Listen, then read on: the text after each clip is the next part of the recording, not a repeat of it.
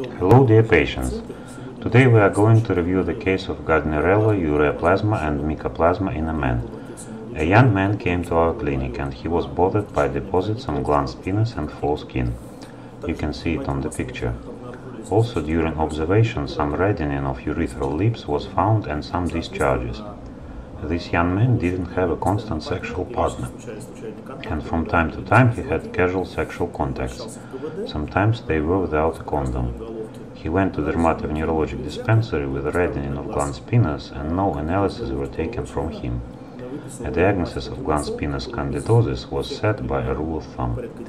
Clotrimazole ointment was prescribed. He had been using it for about 10 days without any effect, and after that he discontinued using it after realizing that these suspicions are groundless, so he came to our clinic. So, analysis for sexually transmitted infections were taken from glans penis and from inside the canal. Smear test for flora or for inflammation was taken. Culture tests of this deposit were taken from glans penis and foreskin. PCR analyses were also taken for fungi of 8 candida and culture tests for candida were taken. As a result, it was found that leukocytes are 12 to 15 within a visual field from urethra. Bacterial culture test brought usual bacteria in normal concentrations. Candida was not found in PCR analysis or in bacterial culture test, therefore a presumption of candidosis done by a rule of thumb was wrong. So three causative agents were found, Gardnerella, ureaplasma and Mycoplasma hominis. Later on, culture test was taken for ureaplasma and mycoplasma according to sensitivity to antibiotics, and the complex treatment was prescribed in the form of washing and instillation of urethra. External baths with furosemide were prescribed. Internal antibiotics were prescribed according to sensitivity as well as anti-Gardnerella medications.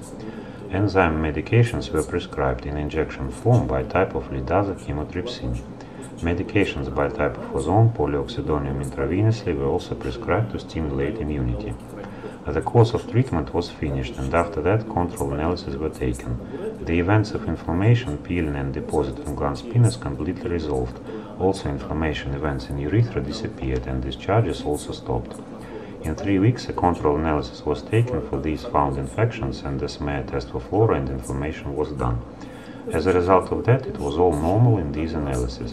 The patient's complaints stopped. This case again suggests that unfortunately you cannot set a diagnosis of some sexually transmitted infection by a rule of thumb, even if you are sure. They all have quite a similar picture and even the deposit that is thought as the only and almost 100% sign of candida in dermatovenerologic dispensaries doesn't always work. So analysis have to be always done during any symptoms of genitourinary system infection and the treatment should be prescribed only according to analysis.